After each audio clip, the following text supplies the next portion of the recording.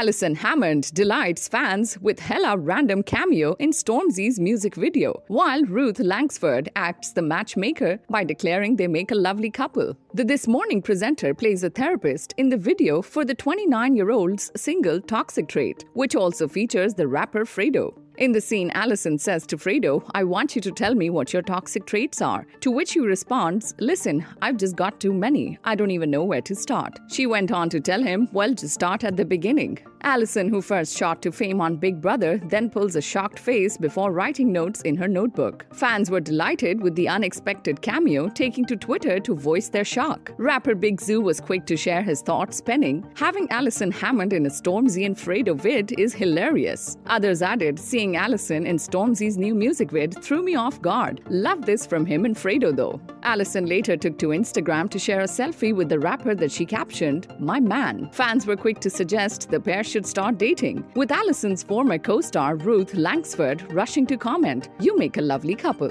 Subscribe to our channel for the latest on your favorite celebrities. Like, comment, and share, and don't forget to press the bell icon for notifications.